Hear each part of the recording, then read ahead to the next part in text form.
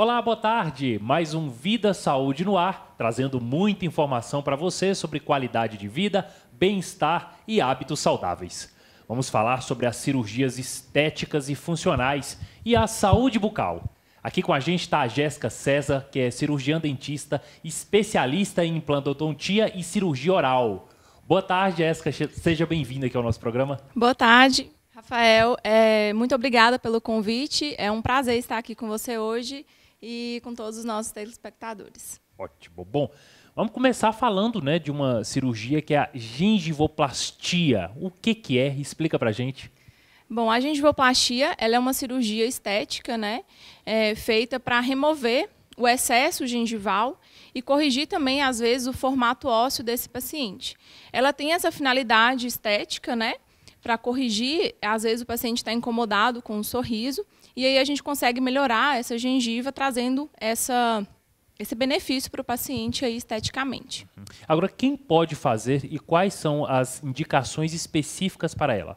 Basicamente, todas as pessoas que se enquadram dentro das indicações e não tenham nenhum comprometimento né, sistêmico, pode estar fazendo a gengivoplastia. É, no caso, né, as indicações mais comuns que a gente encontra aí no consultório né, odontológico são aqueles pacientes que apresentam um sorriso gengival, às vezes o paciente que faz uso de alguma medicação que causa né, uma hiperplasia gengival, que é um crescimento desordenado dessa gengiva. É, pacientes também que fazem é, uso de aparelho ortodôntico, que também tem esse crescimento, né? A gente consegue melhorar o sorriso dessa pessoa através da gengivoplastia. Agora, doutora, quais são os exames necessários para realizar essa cirurgia? A gengivoplastia, por ser uma cirurgia estética, né, que mexe muito com a autoestima do paciente, é importante ter é, um planejamento né, cirúrgico muito adequado e minimamente calculado, para a gente ter um resultado positivo. Né? E os exames aí indicados é o exame físico mesmo da boca desse paciente, medir a gengiva, né, bem criteriosamente. Às vezes os exames de imagem se fazem necessários, como as radiografias intrabucais, né, uma tomografia computadorizada para avaliar o nível ósseo desse paciente. As fotografias né, conseguem nos dar um padrão facial desse paciente para melhorar também essa questão aí dele, para a gente conseguir ver o antes, conseguir ver o depois. E alguns pacientes que têm algum comprometimento né, sistêmico, ou um paciente diabético descompensado, ou às vezes também um paciente ele tem algum problema de cicatrização, a gente consegue fazer exames né, de sangue para ver como que está os níveis desse paciente né, e ver se ele está apto para fazer o procedimento cirúrgico. Agora, para entender na prática, como é que é realizada aí a cirurgia? Então, a cirurgia ela é um procedimento extremamente simples quando executado por um cirurgião capacitado. Né? Então, é feito ali a anestesia local né, dessa gengiva, é anestesia aquela região que vai ser manipulada, né, e a gente tira lá os excessos gengivais de acordo com a necessidade do paciente, remove também o osso, né, que vai trazer um resultado positivo, trazendo também uma previsibilidade para essa gengiva não voltar a crescer.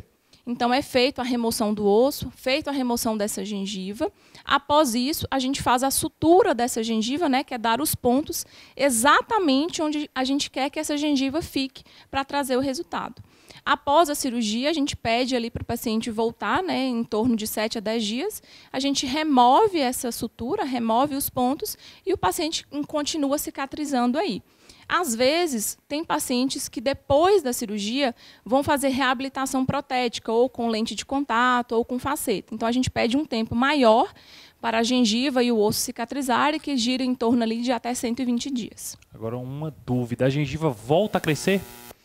Então, não deveria, né? Em alguns casos, é, acontece de voltar a crescer se a técnica não foi executada da maneira correta. Então, se o cirurgião ele fez a técnica da maneira correta, removeu o osso de maneira adequada, removeu essa gengiva de maneira adequada, a cirurgia ela se torna né, praticamente irreversível lá. Então, a gengiva ela não volta a crescer. Ok. Agora, a gengivoplastia pode ser feita usando o aparelho ortodôntico? Sim, pode ser feita usando aparelho ortodôntico. Né? Na maioria dos casos, os pacientes que fazem uso do aparelho ortodôntico, que tem esse crescimento desordenado da gengiva, causando essa hiperplasia, né, que a gente é, chama aí, é, por conta mesmo de uma higiene oral deficiente. Né? Então, os pacientes que eles não conseguem higienizar né, o aparelho, os dentes da maneira correta, por um problema bacteriano, né, essa gengiva ela começa a crescer de uma maneira desordenada. Né? Então, a gente consegue fazer, sim, né, a gengivoplastia, mas o ideal é fazer a gengivoplastia após o tratamento do aparelho. Durante o, pro, o procedimento do aparelho, das manutenções, se a gengiva estiver atrapalhando né, o, o, dentista que faz a manutenção, que cuida mesmo da parte do aparelho, que é o ortodontista, a gente faz a gengivectomia, que a gente remove só o excesso. E depois que o paciente tem a alta, né, a gente faz a gengivoplastia, que também mexe na estrutura óssea desse paciente. Agora, o que, que são os freios orais? e os tipos que existem, doutora? Então, os freios orais são é, como se fossem pregas, né, uhum. que a gente tem aí na região labial, né, na parte superior e na parte inferior também, e também nas laterais, né? Se a gente tracionar o nosso lábio para cima, a gente vai ver essas pregas nas laterais que são chamadas de bridas, né? Então a gente tem os freios labiais e o freio lingual, que ele fica posicionado no ventre da língua. Se a gente levantar a nossa língua lá no céu da boca, a gente vai ver o freio lingual ali, que é posicionado ali no ventre da língua, abaixo da língua. E, e o que, e quando que é necessário fazer uma intervenção cirúrgica nos freios? Quando os freios eles atrapalham né, a mobilidade da língua, por exemplo, o freio lingual, se ele estiver posicionado muito para a ponta da língua, atrapalhando a movimentação dessa língua, né, atrapalhando na mastigação, atrapalhando na deglutição. Às vezes, quando o paciente é muito novinho, acabou de nascer e a língua está presa lá, a gente fala que é anquiloglossia, atrapalha na sucção né, do leite materno. Então, nesses casos, a frenectomia lingual é indicada. Nos casos da, da labial, a gente pode fazer quando o paciente ele tem um diastema né, entre os dentes, que é aquele espaço né, entre os incisivos centrais, que atrapalham né, até mesmo na correção ali com o aparelho ortodôntico. Às vezes atrapalha a evolução do próprio fechamento natural né, daqueles dentes. Então a gente faz aí a remoção desses freios nesses casos. Daqui a pouquinho a gente vai entender um pouco mais sobre as cirurgias nos freios orais, mas nós vamos para o intervalo, a gente volta já já.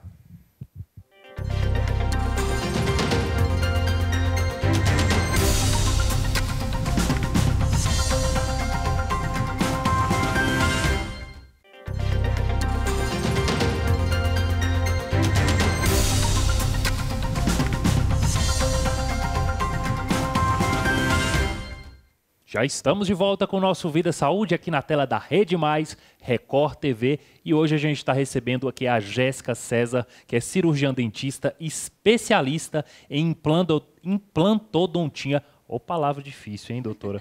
Mas eu vou conseguir falar certinho, né? Vai, e vai. a cirurgia oral, obrigado pela sua participação. A gente falou no primeiro bloco a respeito dos freios orais e as intervenções cirúrgicas. Essa é a mesma questão, questão de algumas crianças que nascem com a língua presa, podemos dizer assim? Isso. As crianças que nascem com a língua presa, a gente chama de anquiloglossia. Uhum. Assim que a criança nasce, lá na sala de parto, né, onde tem o pediatra, ele consegue fazer esse diagnóstico precoce, que é o teste da linguinha. Né? Ele vê se a língua estiver presa. A criança, mesmo assim que nasce, a gente já consegue fazer né, o corte dessa língua, liberar essa língua. Por quê? A língua presa ela pode atrapalhar essa criança mais para frente. Tem uma idade ideal para esta cirurgia? No caso do diagnóstico precoce, né, lá na sala de parto, assim que a criança nasce, já pode ser feito, né, porque é o mais precoce possível para não ter problemas né, posteriores. Uhum. Então, a idade ideal é assim que a criança nasce. Mas existem alguns casos que podem ser realizados após também esse período aí. Pois é, essa questão é, da cirurgia nos adultos, como é que funciona? Nos adultos que não tiveram nesse diagnóstico né, na fase da infância e que estão tendo problemas na fonética né, para poder falar, os fonemas geralmente que são mais afetados é o D e o T. A gente também consegue fazer a frenectomia nos adultos e após a cirurgia a gente faz o encaminhamento para o fonoaudiólogo que vai fazer todo esse acompanhamento né, para essa pessoa desenvolver aí a fala da maneira correta. Agora, existe algum risco ao realizar esta cirurgia? Então, os riscos são praticamente mínimos, né? Desde que executados por um profissional capacitado, que entenda né, a anatomia daquela região, que entenda que ali existem estruturas importantes. Né? Então, se é feito em um ambiente adequado por uma pessoa capacitada, os riscos são zeros. O que podem ocorrer, caso não seja feito dessa maneira, são complicações. Né? Às vezes pode ter um sangramento inesperado, às vezes pode ter algum inchaço, né? mas tudo isso pode ser minimizado desde que feito por uma, um profissional capacitado. Agora, o adulto né, que não fez esse tipo de cirurgia na infância e vai passar pelo procedimento, é, é, ele vai sentir dor? Como é que vai ser a realização dessa intervenção? Olha, a técnica cirúrgica em si é muito simples, né? Então a recuperação também, ela tende ali ficar mais ou menos 5, 7 dias, né, com aqueles pontos na região. Ele vai basicamente tomar só analgésico, não tem necessidade de uso de antibiótico, de anti-inflamatório, né? Porque a cirurgia é realmente dar aquele piquezinho, aquele corte ali no freio. Então a recuperação do adulto é melhor ainda, né, do que do que da criança. Mas tem anestesia. Tem anestesia, tem que ter anestesia. Sente dor?